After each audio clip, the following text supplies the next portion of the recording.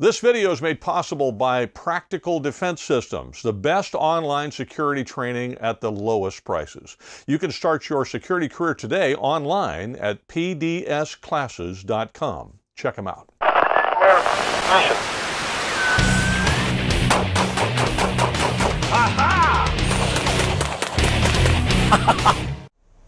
Hi, this is Joel Persinger. I'm the Gun Guy. Thank you very much for all of your support of Gun Guy TV. Merry Christmas to you. I know I'm a little bit late because Christmas is past. And Happy New Year. That's coming up in a few days. So I think I've covered all the bases. I hope you had a great Christmas and I hope you have a wonderful New Year. By the way, if you have not already done so, please do subscribe to Gun Guy TV at one of the alternative locations where we also publish videos beyond YouTube.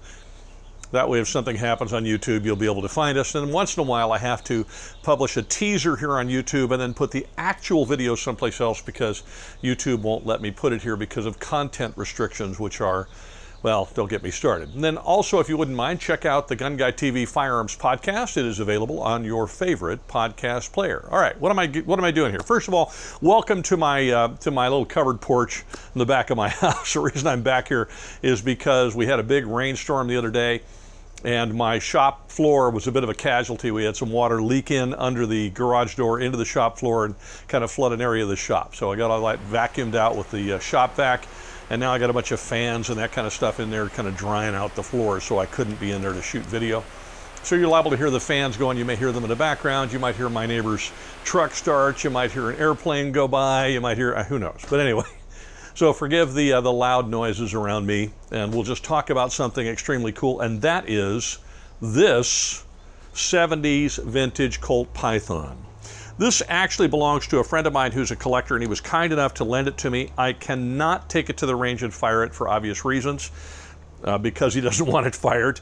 And so he's given me strict instructions not to do that. And I do understand. But it's a great gun for me to talk about with you for a few reasons. One, uh, if you've watched the channel very long, you probably know that my father was a deputy sheriff in a rural county in Oregon. And his duty firearm was a Colt Python. Now, he was a cop in the late 50s and early 60s, mostly the early and mid 60s. And, uh, and as a result, these were not as horribly expensive then as they are now. Now they sort of demand stupid money if they're the original versions, not the new ones. This has the beautiful Colt blue on it. There are some interesting things about these guns that, you know, they're, it's always a subject of debate, Colt versus Smith & Wesson and so on. So let me explain to you from a practical perspective why my father chose, the, cho chose I can do this, why my father chose the Colts rather than the Smith & Wessons. Back in his day when they were issuing firearms, different departments issued different guns based upon whatever they chose to buy.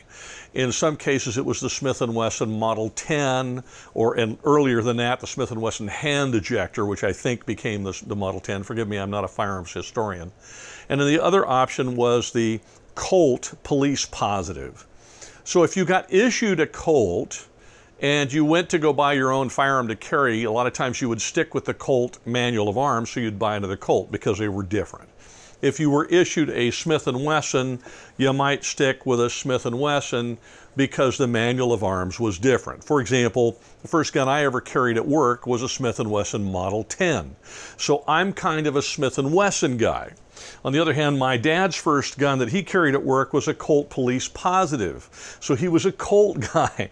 And here's the differences. For example, one difference is that with Colt, in order to open the cylinder and swing it out, you pull back on the cylinder release in order to open it. You don't push forward. On a Smith & Wesson, you push forward. This is my Smith & Wesson Model 66. You push forward to release the cylinder to swing it out. So that's one issue. And in the heat of the moment, if you're accustomed to pushing forward, you want to stick with that manual of arms and have a gun that does that because if you have to defend yourself and reload the gun in a hurry, you don't want to have to fiddle around to try to figure it out and you don't want to have to retrain to learn something new if this has become habit for you or what people would call muscle memory. I don't think muscles have memories, but we do get in the point of doing things the same way over and over again out of uh, training or habit or whatever. Well, my habit is to push forward. My dad's habit was to pull back. And so he stuck with what he knew and what he and what worked for him automatically without his having to think about it. Here's another issue is that the Colt cylinder, if you can see it, turns clockwise. So when the gun is fired, the cylinder rotates clockwise, whereas the Smith & Wesson cylinder rotates counterclockwise. So you can see that. This one rotates counterclockwise. And if you ever can't figure out uh, which way your revolver goes and you have to think about it, all you have to do is look at the cylinder and look at the cylinder notch. If you look at the cylinder notches, they sort of look like a bullet that's pointed a certain direction. On a Smith & Wesson, you'll see that it's pointed in the counterclockwise direction, and that's why you can immediately tell it goes counterclockwise. If you look at the Colt revolver, you'll see that the cylinder bolt notch is actually pointed like a bullet in the clockwise direction, and that's the direction that the gun uh, rotates its cylinder. Now, if you go on the web and look at all the forums, you're going to find there's eight bazillion arguments as to why one goes one way and one goes the other. I've heard a lot of them. Uh, one is the argument that Colt was trying to figure out a way to make a double action revolver as opposed to a single action revolver and Smith & Wesson had the patent and so in order to make their gun different they decided to stick with the clockwise rotation in their revolver as opposed to the counterclockwise.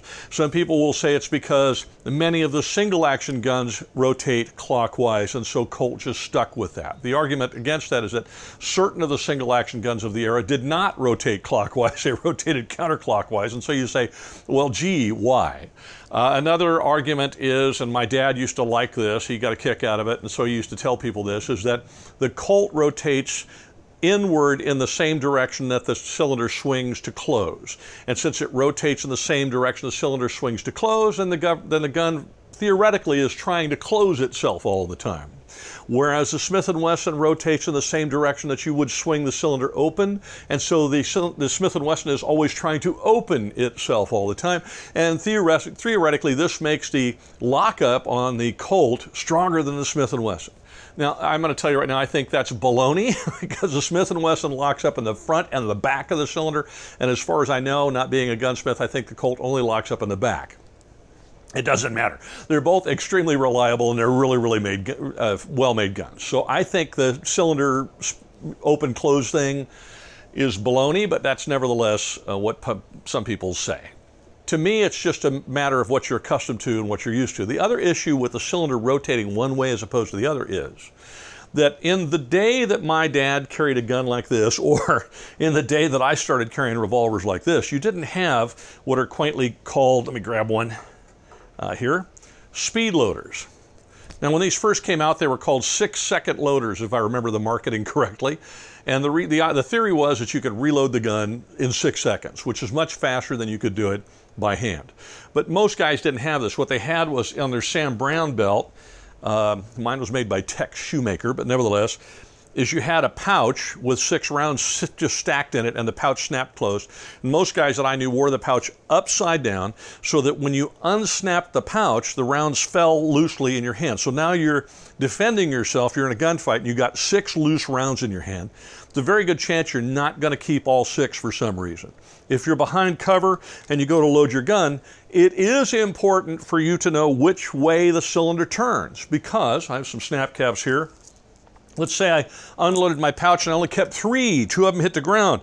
Well, now I'm going to have an empty cylinder, but if I know this and I load my gun one, two, three, and I know that the gun rotates to the right because I carry a Colt, then I'm going to set it up so that first chamber is empty and the remaining rounds that I just loaded are on the left hand side. So when I press the trigger, it's going to, it's going to rotate the cylinder. My first round is going to go bang, bang, bang. On the other hand, if I'm carrying a Smith & Wesson, my cylinder rotates to the left. So I drop my rounds in my hand. I only got uh, three of my six. I one, two, three. Now I'm going to load this and I'm going to put it on the empty chamber before the round on the right because I know the cylinder is going to rotate to the left and when I press the trigger the first time, I'm going to have a round go off. So if I'm hiding behind the engine block of a car because I've had somebody, you know, trying to perforate me with bullets, and they're banging away at me and I'm nervous and scared, back then it was very likely I might lose some of those loose rounds. It's important for me to know instinctively because I carry the gun all the time and this is the way it works that that cylinder goes that way or it goes that way. Because if I don't, if I'm carrying a Colt and I'm used to a Smith, or I'm carrying a Smith and I'm used to a Colt, and I set it up the wrong way. Now I have to go click, click, click until I finally get those things to rotate around where the first round goes bang, and that could cost me my life. So, it, it, regardless of what kind of gun you're using, whether it's a handgun or a rifle or a shotgun, if it's a fighting tool, you want to understand and be accustomed to the manual of arms of the gun, and it needs to be something that you do without thinking. And so, as a result, since my dad started off with Colts, he stuck with Colts. Since I started off with Smiths, I stuck with Smiths. Is one better than the other? No. Not at all. They're both outstanding firearms. And even today, they're both outstanding firearms. Now, because of the beautiful finish of the Colt Python, it has that deep blue Colt finish, and because they had some mythos attached to them, and in my case, because I have some emotional attachment to them because it was the gun my dad carried, I think they're marvelous. But are they any better than a Smith & Wesson? No.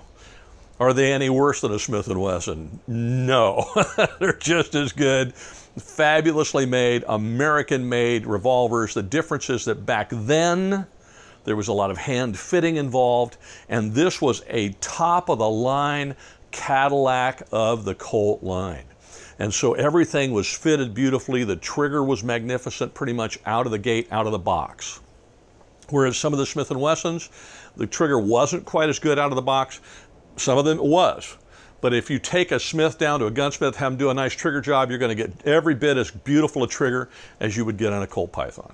So don't think that that's this is the god of triggers here. It's not. They are marvelous guns. They're incredibly accurate. They're a joy to shoot. And gee, I wish this one was mine. but it's not. So I can't fire it. I have to take it back this afternoon or this evening and give it back to my buddy John. So it kind of is what it is. But there you are. There's the Colt Python from the 1970s. I have not had an opportunity to review or fire or mess with the new ones, so I don't know if they're of similar quality. I certainly hope so. But uh, these things demand pretty high prices now, and I think there's a reason. They're a great collectible firearm. Well, thank you very much for watching. I hope this was instructive for you. Have a wonderful week and a fantastic new year. And thank you very much for all of your support of Gun Guy TV. I'm very, very grateful. Wherever you go, whatever you do, stay safe.